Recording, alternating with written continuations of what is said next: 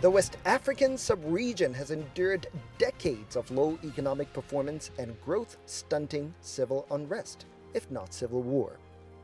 Sierra Leone can give testimony to this.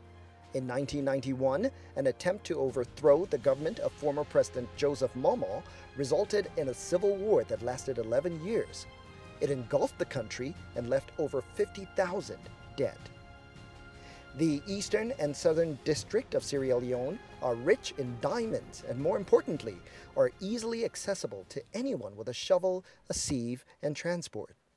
Now, since their discovery in the early 1930s, diamonds have been critical to financing a continuing pattern of corruption at the expense of much needed public services, institutions, and infrastructure. Much like Liberia, Sierra Leone was hit with the Ebola epidemic, which brought many businesses to their knees and slowed down the country's economic growth. According to a joint report by the African Development Bank and Global Financial Integrity, a U.S. research and advocacy group, the bleeding of resources from Africa is about four times the current external debt of the continent. The common way illicit money is moved across borders is through international trade. But with good management and a new strategy, West Africa could be in a position to finance much of its own development. But this is largely dependent on member nations banding together to present a united front with an aim to end arbitrary nature of tax breaks. They can insist on corporate transparency when dealing with foreign direct investments and demand the highest standards of transparency from their governments. West Africa has enjoyed an unusually high rate of economic growth over the last decade. The region has enjoyed a steady growth of nearly 70% since 2012. ECOWAS has an ambitious agenda for regional integration, but it needs the support of the population and especially the private sector. The aim is to remove the physical, political, and economic barriers that isolate nations from their neighbors.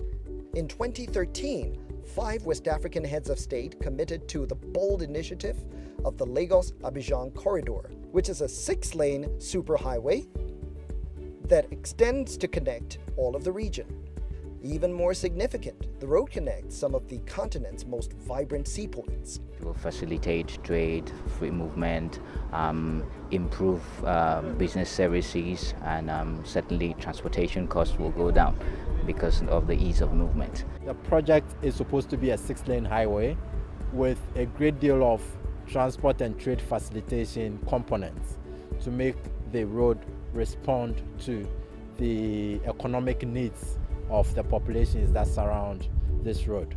Strategic partnership between the public and private sector can fill the funding gap the West African private sector can have a large share of the region's emerging markets, and how to develop a macroeconomic policy that creates jobs in the real sector. the targets are clear the abolition of custom duties, adopting a common external tariff, and the adoption of protocols to consolidate free movement of persons in the region. If challenges are addressed, then it can lead to more trade and investment. It could also lead to shared resources and less conflicts across and within borders. No doubt, the adoption of an ECOWAS common trade policy will get us there.